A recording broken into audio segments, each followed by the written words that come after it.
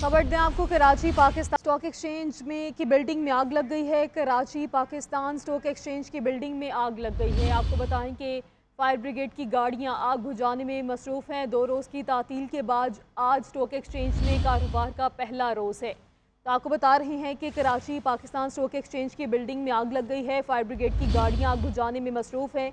दो रोज़ की तातील के बाद आज स्टॉक एक्सचेंज में कारोबार का पहला रोज़ है। आपको बताएँ कि पाकिस्तान स्टॉक एक्सचेंज की बिल्डिंग में आग लग गई है। कराची में पाकिस्तान स्टॉक एक्सचेंज की बिल्डिंग में आग लग गई है। दो रोज़ की तातील के बाद आज स्टॉक एक्सचेंज में कारोबार का पहला रोज़ है और पाकिस्तान स्टॉक एक्सचेंज में कारोबार साढ़े नौ बजे शुरू होता है।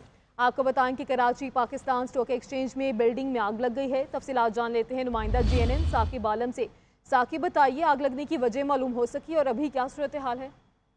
जी, बहुत शुक्रिया। ये आया चंडीगढ़ रोड पे वाक़ पाकिस्तान स्टॉक एक्सचेंज की इमारत में जो है वो अचानक आग भड़क उठी है और देखते ही देखते आग ने जो है, वो दो दफातर को जो है अपनी लपेट में लिया है। आग बिल्डिंग की चौथी मंजिल पर लगी है, जबकि आग की इतला मिलने पर फायर ब्रिगेड की तीन गाड़ियाँ जो है वो मौके पर पहुँची और आग बुझाने में मसरूफ है। ताहम अब तक जो है आग पर काबू नहीं पाया गया है। जहाँ तक ताल्लुक आग लगने की वजूहत का है तो फायर ब्रिगेड हुकाम से जो हमारी बात हुई तो उनका ये कहना है कि आग बुझ जाने के बाद ही जो है ये बात वाजे हो सकेगी कि आग लगने की वजूहत क्या थी। तहम अब तक जो है वो पाकिस्तान स्टॉक एक्सचेंज के अंदर ट्रेडिंग का आगाज़ नहीं हुआ है जबकि जितना भी अमला इमारत के अंदर मौजूद था उनको जो है वो इमारत से बाहर निकाल दिया गया है। जी।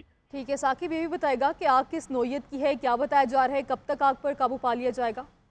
देखें फायर ब्रिगेड हुकाम का ये कहना है कि आग जो है वो चौथी मंजिल पर लगी है और उसने दो दफातर को जो है वो अपनी लपेट में लिया हुआ है। ताहम फायर ब्रिगेड हुकाम का ये कहना है कि कोशिश कर रहे हैं कि आग पर जो है वो जल्द अज जल्द काबू पाया जा सके। जबकि फायर ब्रिगेड जराये का ये कहना है कि आग को जो है वो मजीद फैलने से रोक दिया है। अब से कुछ देर के बाद जो है वो आग पर काबू पा लिया जाएगा। जी।